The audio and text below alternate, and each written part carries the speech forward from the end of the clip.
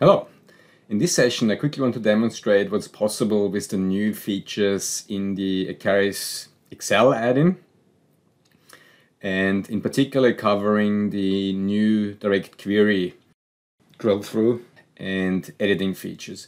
So what we see here is um, a pivot table. This is just a normal pivot table with rows and um, measures that um, I've put here from a table that was linked to a Acterys. And you can link a Acterys tables either with the Acterys Power Sync. So for example, if you want to link a um, Power BI data model, you can just um, either connect to the Power BI desktop that I've done here and then add any of the model tables from any source to a Acterys. Or the other option is to use directly the modeler so here we see the Acterys modeler that has already a lot of tables added. These tables can either be added um, using the ERP and software as a service integrations. So uh, you can see a few of them here.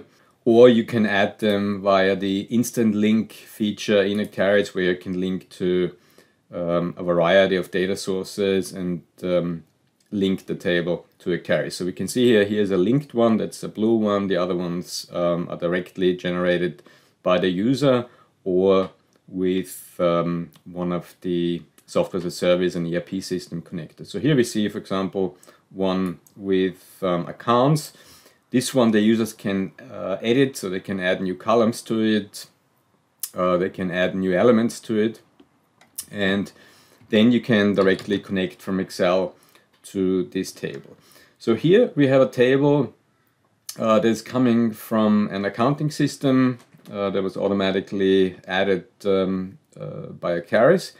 And we have added three columns here. Um, so this is for, for a requirement where the user wants to prepare the data for R&D grants, research and development grants, where they want to qualify accounting transaction with an R&D percentage, so what R&D percentage applies, and then also with comments. And so this Acterys table that was extended by these columns, um, I've used here now to uh, build this pivot table. And this is a direct query straight to the SQL source of the Acterys table. So Acterys stores the tables typically in SQL so this is directly going through that in the live mode. So if there's a change, this will be auto automatically reflected here. So um, what the interesting thing is here now, normally in direct query in the pivot table, there is no drill through. It's, it's not supported. You can do it in an import mode one, but not in direct query. There's also no option to configure it. Here you have now the option to, on the one hand, use the uh, drill through, and on the other hand, you can configure it. And the coolest thing, you can also edit them. This means directly writing it to the underlying SQL table. But let's have a look. So here we see now the pivot table with the elements that we put into the table, so account type, account name, and um, a few measures. And what I can do here now is I can click on a particular value, right click, Acterys drill through, and now I will get all the records that make up this particular value. So you know all the transaction from the underlying transaction table plus the new columns that we added uh, in Acterys. So this means the source table wouldn't be affected, but you have the additional metadata uh, in Acterys and it's managed there. And what I can do here now is I can now uh, use all the Excel features to edit things. So for example, you could say I want to apply a 10% uh, R&D percentage here. And I want to make a comment.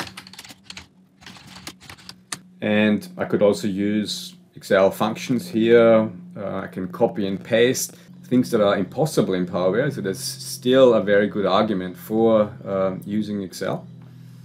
And once I'm finished I can just click one button here update the underlying table.